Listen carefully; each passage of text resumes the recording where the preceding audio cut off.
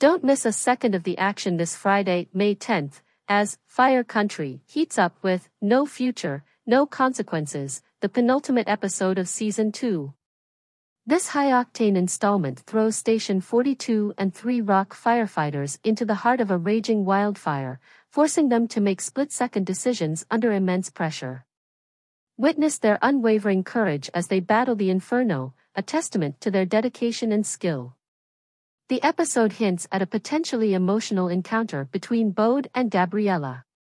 As they grapple with past feelings and a lingering spark, the conversation promises to unearth buried emotions and reignite their undeniable connection.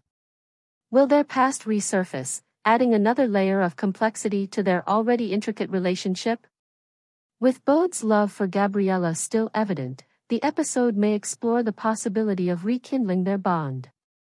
Prepare for a heart-pounding cliffhanger that will leave you desperate for more. This masterfully crafted episode, written by Anupam Nigam and directed by Sarah Wayne Callies, perfectly sets the stage for the season finale. Adding to the intrigue is the secrecy surrounding Gabriella's upcoming wedding. Will Bode attempt to intervene, throwing a wrench into her plans?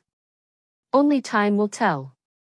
Don't miss this captivating episode, featuring stellar performances from Max Thieriot, Billy Burke, Kevin Alejandro, Diane Farr, Stephanie Arcila, Jordan Calloway, and Jules Latimer.